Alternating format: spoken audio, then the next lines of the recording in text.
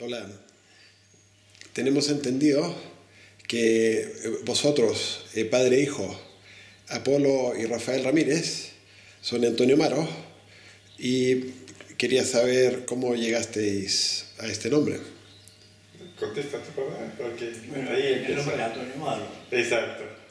Mira, cómo llega- llegamos al nombre de Antonio Maro es muy sencillo, porque tenía dificultades para pintar en la casa y siempre tenía que esconderme. Todas las semanas teníamos que ir al peluquero. Entonces el peluquero se da cuenta y me dice, ¿por qué te pasa tan triste? ¿Qué, tienes en la cara? No digo, no tengo nada, ¿sí tienes algo? Y le conté que tengo dificultades en la, en, la familia de pintar libremente. Me dijo, muy sencillo, agarra un, lápiz y pones Maro, M-A-R-O, ¿y qué es esto? Es tu nombre. A partir de ahora te llamas tú Maro. Y de quién te pones. Antonio, si es que tienes tú un santo. Todos los peruanos tienen un santo. Yo tengo a San Antonio, ¿no? Entonces eres San Antonio, Antonio Maro. Poco a poco se fue desarrollando esa, esa idea. Después, contigo, ¿no? Después eh, me vine a Europa con las mismas dificultades de siempre. Conocí a mi señora, nos casamos, tuvimos un hijo. Tenía cuatro hombres, cuatro hijos hombres, Cuatro de los cuales el segundo siempre, yo creo que desde sus tres años o cuatro años se metía en taller sin estorbar, que es lo contrario de ahora, ¿no? Siempre Lo, tra- lo mal educaste. muy tranquilo, poco a poco, y poco a poco él casi se hacía dueño del taller y me tratía- trataba de ayudarme en todo sentido y entró una unión pero muy verdadera que me daba, me daba mucho gusto de verlo a él a cada rato. A veces estaba jugando con sus hermanos y cuando yo llegaba de trabajar me metía al taller, él pa, venía y se metía y comenzamos a ayudar. O sea que desde su primera infancia él está coordinado conmigo, los dos estamos coordinados a trabajar de una sola manera, ¿no? Él desa- desarrolla su pintura a su manera, yo me pintura a mi manera y los dos hacemos una, un convoluto de, de nuestra pintura propia, ¿no? Que es la pintura de. Qué maravilloso. Eh, eh, lo, lo que pasa es que cuando papá pintaba en Perú, eh, estaba muy orientado en, en el arte europeo. Sobre Sí, todo, un, un Sí. pintor eh, admiraste mucho era Willy Baumeister, Sí. Ah, con, con quien llegaste a, Escuela alemana. Exacto, con quien llegó a estudiar. Y lo que pasa es que empe- empezaste con, con esos asamblajes. ¿eh? O sea, se mezclaban muchas cosas en el cuadro y claro, la, la- una mano incluso de niño servía mucho para agarrar cosas y papá tem- templaba esas cosas y, y repintaba y yo aguantaba las cosas o le alcanzaba las, las pinturas. no. Así que, y, y- y para un chico, claro, el asamblaje también bastante divertido. Sí. ¿eh? Y, y- y- y a mí me encantaba esa, esa manera de transformar cosas que yo conocía, eh, cajas que estaban aquí, cartones que de repente se transformaron en, Es como lo que se llama el collage también, ¿no? eh, exactamente, Sí, en- collage, en- en- collage, en- pintura, ¿no? Pero yo creo que esa mm, peruanidad que ahora define un poco la pintura Maro, ya en, en los principios no, no estaba, ¿no? Porque No, estaba más orientado a la, a- a la pintura Sí, la, la eh, europea, ¿no? Exactamente, pero Sí. eso llegó poco a poco, paulatinamente, estando aquí en Alemania. Porque en Alemania se siente más, uno se siente más su peruanidad que, que en el mismo país. ¿eh? Claro, en la diáspora se, se, se- se acerca más, ¿no? La identidad se define mucho más, ¿no? Así que poco a poco se des- desarrolló em, eh, ese estilo y sobre todo con el comienzo de, del contraplano, ¿no? El contraplano. Exactamente, ahí empieza, ¿no? Eh, Con, con las figuras, eh, de, la, eh, eh, no sé, o sea, tienen, tienen ese, ese aire peruano, también los metales, que empiezan a... Claro que, que todas las figuras que hicimos con, con la técnica del, de contraplano eran de metal. Eso era la base. ¿no? Y, y, siempre se podía vislumbrar una máscara peruana, un, una, figura, una figura peruana un poco rota, como, como, se encuentra eso en, en la arqueología. O sea, aquí eso, eso yo creo que también nos inspiró mucho eh, jugar con, con esas formas. ¿no? Claro, claro. Pero lo que más me, me encantaba a mí era ver que él casi adivinaba lo que yo quería hacer. No tenía por qué decirle, haz esto, haz eso.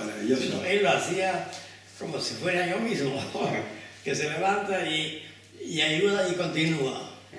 Y eso no se perdió nunca, al contrario, siempre aumentó cada vez más, ¿no? Claro, hoy, hoy, es así, ¿no? O sea, Si, si, yo me levanto, papá sabe perfectamente lo que, lo que voy a hacer y al revés, ¿no? Ya, ah, ah Igualito. Ya, o sea que te levantáis, eh, tú pones eso, el otro va con eso. Claro, he dicho, no se habla nunca en el taller. No.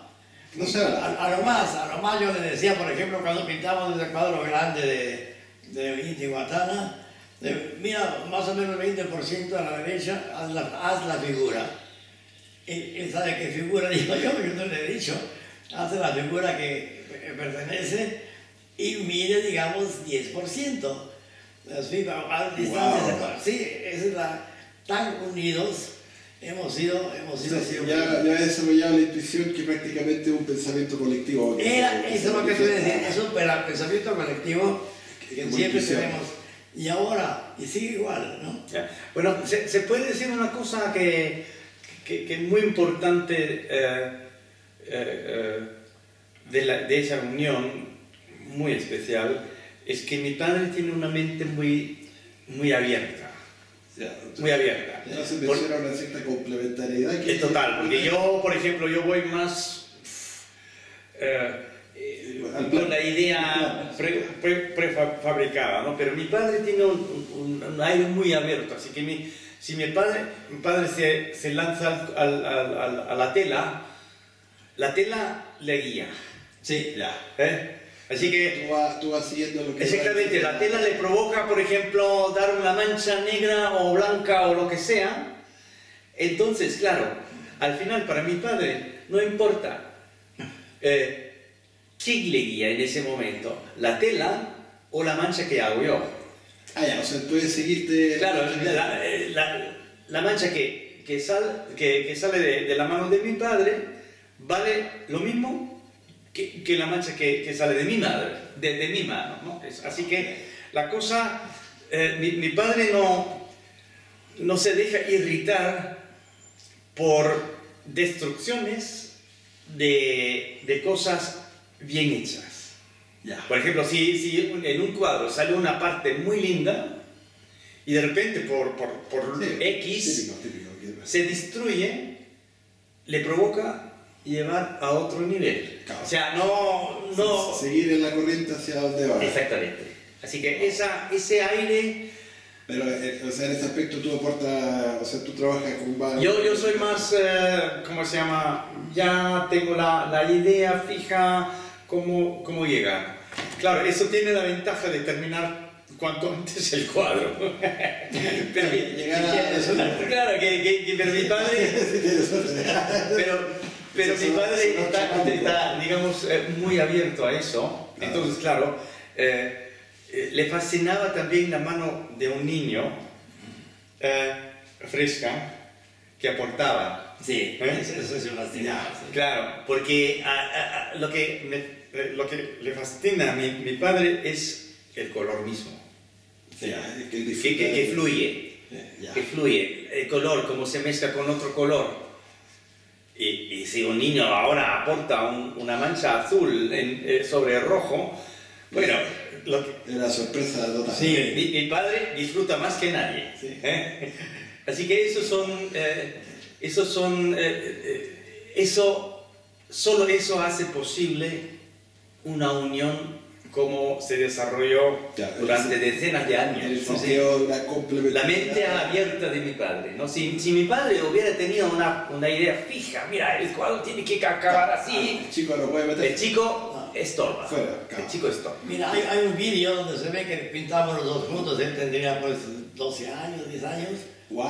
Yo pinto aquí abajo, acá y a dos metros arriba está pintando él solo. Ah, lindo, ya, ya. Y yo sé 100% lo que él, lo que él te está Lo que haciendo. está haciendo, tú sabes para dónde va. Para- no, él- yo, yo sé cómo va a salir, ¿no? Claro. Y tengo confianza 100%, yo sé que va a salir perfecto. Claro, claro, Claro. Sobre todo, sobre todo yo creo que la pauta que, que nos une y, y la fascinación que nos, nos hace crear un cuadro Sí. es sobre todo la música. Ah, ¿Eh? es- esa es la base. Claro, para nosotros, para nosotros un color es un sonido. Sí, sí, ¿eh? sí, sí. O una línea es una melodía. Sí, sí, sí, ¿eh? sí, Así- 100%. exactamente. Un, un clímax es eso. Un clímax en, en- en una sonata o en una sinfonía. Así que, lógico, que tú haces un, em- un comienzo de un cuadro así, ¡ah! te lo lleva a ese punto rojo, ¡bom! Lógico, lo mantiene todo. Eso, eso hace que el sentido que un color es un sonido Sí. ¿eh? Que tiene que sonar para todo el cuadro y no solo para ese lugarcito. ¿eh? Perfecto. ¿Eh? Oye, mira, y eso es lo que la- el otro día que estuvo tocando violín él, ¿Ya? increíble cómo yo cómo veía, ve- ve- veía mi cuadro que crecía, y, pero así de, de- de precioso, ¿no? Qué alucinante. Y, ¿no? y era, y era la música que más te lleva, ¿no? Te lleva. Claro, pero bueno, yo no sé si la gente sabe que habitualmente tocáis instrumentos y Hemos tocado mucho juntos. Mucho juntos, en, ¿no? en- en la, en- El- en la el- niñez. eh, el, el Apolo, el piano. Uf, claro. Y, y tú Y yo, el, padre, ¿no? claro. Violín o piano, ¿no? Claro, claro. Es maravilloso, Eso, ¿no? no, eso, pero tu eso. sonido ha ganado mucho, Pedro. No, pero eso, Sí, eso. está precioso. Sí, eso es la qué- bonita, ¿no? Qué lindo ahora, ¿no? Bueno, volviendo al- a la pintura, yo creo que el, el concepto o la técnica del contraplano, Sí. que prácticamente es la, la idea de la polifonía. Mm, Sí, claro. O sea, ¿por qué? Porque una capa es como una voz. Y hay otra voz Que, que, que, canta sobre la otra Claro. sin eh, Sí, eliminar sí, la otra hasta, hasta que, ¿cómo se llama? Es como una sinergia de las dos, o sea, se complementan en una polifonía, en una armonía. Entonces, eso, eso yo creo que se ha, en- ¿cómo se llama? Intensificado durante tantos años. ¿eh? ¿Cómo se puede aumentar el sonido o la polifonía con tres voces, con cuatro voces? por, por decir algo, ¿no? Por decir algo, ¿no? O sea, eh, más colores, más colores. Y, y- y- y claro, siempre como, como base de la armonía el color del metal. Ya. Eh, porque- Bueno, eso, suena muy. Eh, claro, porque el metal tiene, es- tiene esto que, que es capaz de unir cosas absurdas, Ya. eh, digamos colores absurdos, ¿no? Porque los armoniza. Ya. ¿eh? Bueno, hombre, se ve, se ve. Claro, entonces ahí se puede arriscar. Y, y entonces es- eso es muy importante. Entonces, claro, tenemos también eh, lo que es muy típico de Maro, no solo la polifonía, sino también la dinámica. ¿eh? Porque la música, una, una parte muy, muy importante de la música es la dinámica, la marcha. ¿entiendes? ¿Entiendes? Así que eh, siempre hay, hay un, un cierto desequilibrio necesario para llegar a, a esa dinámica. Ya. ¿Entiendes? O sea, hay que también, ahí, ahí digamos, dos personas pueden empujar lo imposible hasta Sí. su máximo, ¿no? Eso, eso. ¿Eh? Ya. ¿Eh? Porque el otro a lo mejor se atreve más y el otro, ¿me No, entiendes? va frenando a todo. Ya, ya, Llegamos al hasta acá. Ya. Y una de las cosas que más admiraba era de él son incansables. Nunca se cansaba, ¿no? A veces pintábamos dos horas y dormíamos dos horas. Con, con, ¿cómo se llama? Con reloj. Otras dos horas a descansar dos horas. Entonces, y- Ah, imagínate. y era- ah, nos hablábamos tranquilos, seguíamos pintando y comenzábamos, ¿no? Como si nada. Eso es increíble. Qué maravilloso. ¿eh? No, de hecho, eh, justamente el cuadro de, de 20 metros por 20 6 metros. lo pintamos en tres semanas. Sin saber la técnica de, de- de contraplano, cómo Pero- se hace eso, Eso- a la tela, porque empezó con, empezó con el papel. ¿eh? Ah, hicieron una transcripción de técnica Claro. hacia otro. Claro, porque era un concurso, entregamos el concurso Ah, a, a papel, porque todos los, los primeros contraplanos salieron sobre papel. Y entonces dijeron, bueno, hemos, hemos ganado, Ahora y ahora hay que pintarlo sobre tela. Y además con 20 metros y 100 metros de altura. ¿Cómo se puede hacer eso? Y comenzamos a dibujar, o sea que salió un, un dibujo tremendo, pero ¿para qué? ¿Qué, qué No queremos hacer dibujos, queremos hacer, Eso sí. Claro. o sea, que borrar todo eso y comenzar otra vez. Claro, eso. Sin agotamiento, ¿sabes? Y Claro, y en tres semanas significa que, que casi no duermes. No, No, bueno, obviamente. claro. Casi no duermes. hoy ¿eh? no, dos horas. Exactamente. Y esa pauta también. Y, y- y nos- nosotros, eh, o sea, yo me acuerdo que, claro, tienes este, eh, ese infantilismo. Ah, eh, pintar más, pintar más. es como, como lo- lo- los adolescentes. Es- ya, claro, es Que- como- como ir probándose, probándose Exactamente, ¿no? que, que, que lo juegan también con sus fuerzas, ¿no? Sí, y, claro. y- y arrastrando al pobre padre. Pero tampoco papá se cansa nunca. Ya, ya, ya, a, a los 90 años, Sí, No, ya, ya estoy un poco cansado. no, para nada, para nada. O sea, si, si yo no lo freno, él sigue. Claro, La verdad que sí, o sea, que que- no, o sea, sea como sea. Bueno, ¿y, y qué les parece haber inspirado a un, a un grupo de artistas de, de Catacaos y Piura eh, a seguir vuestro camino, vuestra eh, la admiración que, que os tienen? Y sobre todo llevar el nombre de Antonio Amaro. no, es un gran honor y una, una gran alegría, ¿no? Sí, mira. Pero yo sé que todos los cataquenses, los catacaos, son artistas, ¿no? No hay, no hay ninguna pintora, una persona que no sepa tocar guitarra, por ejemplo. Ah, de verdad. Cuando mi hijo fue a Alejandro, a Catacaos, en cada casa escuchabas Bach por aquí, por allá, por todas partes. Wow. De igual manera, que pinta casi todo el mundo. Cuando reconstruyeron la catedral, tenemos dos catedrales, gente que no sabía casi nada de pintura han hecho los frescos. Tremendos, muy lindos, Ah, a su que- manera, pero imagínate, pintar así. O sea que la- en la cultura que creciste... La tiene. Yo creo que es típico tallán. El, el Típico tallán, tallán. el tí- típico tallán. El, el tallán es muy, le gusta elaborar, hacer todo con la mano, arreglarlo, mejorarlo, hacer algo, ¿no? O sea que tenemos esa, esa tendencia natural.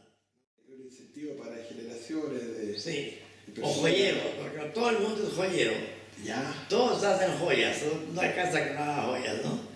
Puro arte, arte, arte. ¿no? Y los potitos. Y los botitos.